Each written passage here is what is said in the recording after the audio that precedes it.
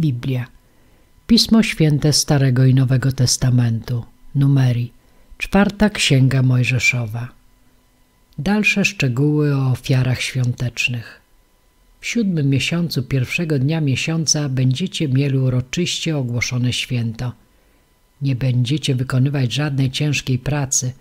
Będzie to dla was dzień radości przy dźwięku trąb i złożycie na ofiarę całopalną jako woń przyjemną dla Pana jednego cielca, jednego barana, siedem rocznych jagniąt bez skazy, a na ich ofiarę z pokarmów trzy dziesiąte efy przedniej mąki zaczynionej oliwą na cielca, dwie dziesiąte efy na barana jedną dziesiątą na każde jagnię siedmiu jagniąt jednego kozła jako ofiarę za grzech aby dokonać za was przebłagania. Oprócz comiesięcznej ofiary całopalnej i jej ofiary z pokarmów oraz oprócz stałej ofiary całopalnej z jej ofiarą z pokarmów i jej ofiarą z płynów zgodnie z dotyczącym ich przepisem jako woń przyjemną ofiary ogniowej dla Pana.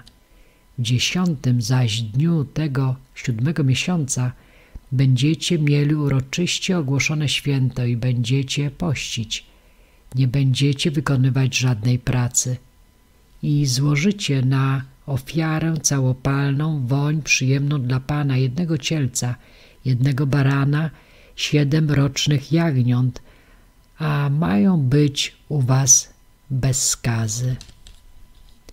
A na ofiarę z pokarmów trzy dziesiąte efy przedniej mąki zaczynionej oliwą na cielca, dwie dziesiąte efy na jednego barana, po jednej dziesiątej na każde jagnię z tych siedmiu jagniąt. I jednego kozła jako ofiarę za grzech oprócz ofiary przebłagalnej za grzech i oprócz stałej ofiary całopalnej wraz z ich ofiarą z pokarmów i ich ofiarami z płynów a piętnastego dnia siódmego miesiąca będziecie mieli uroczyście ogłoszone święto. Nie będziecie wykonywać żadnej pracy, będziecie obchodzić święto Pana przez siedem dni. Złożycie na całopalną ofiarę ogniową woń przyjemną dla Pana, trzynaście cielców, dwa barany, czternaście rocznych jagniąt, mają one być bez skazy. Do tego złożycie na ich ofiarę z pokarmów trzy dziesiąte efy przedniej mąki zaczynionej oliwą na każdego cielca z tych trzynastu cielców, dwie dziesiąte efy na każdego barana z tych dwóch baranów i po jednej dziesiątej efy na każde jagnię z tych czternastu jagniąt oraz jednego kozła na ofiarę za grzech oprócz stałej ofiary całopalnej wraz z jej ofiarą z pokarmów i z płynów. A drugiego dnia ofiarujecie dwanaście cielców, dwa barany, czternaście rocznych jagniąt bez skazy oraz ich ofiarę z pokarmów i ofiary z płynów do cielców, do baranów i do jagniąt zgodnie z ich liczbą według przepisu jednego kozła na ofiarę za grzech oprócz stałej ofiary całopalnej wraz z jej ofiarą z pokarmów i ofiarami z płynów. A trzeciego dnia ofiarujecie jedenaście cielców, dwa barany, czternaście rocznych jagniąt bez skazy oraz ich ofiarę z pokarmów i ofiary z płynów do cielców, do baranów i do jagniąt zgodnie z ich liczbą według przepisu jednego kozła na ofiarę za grzech oprócz stałej ofiary całopalnej, wraz z jej ofiarą z pokarmów i ofiarami z płynów.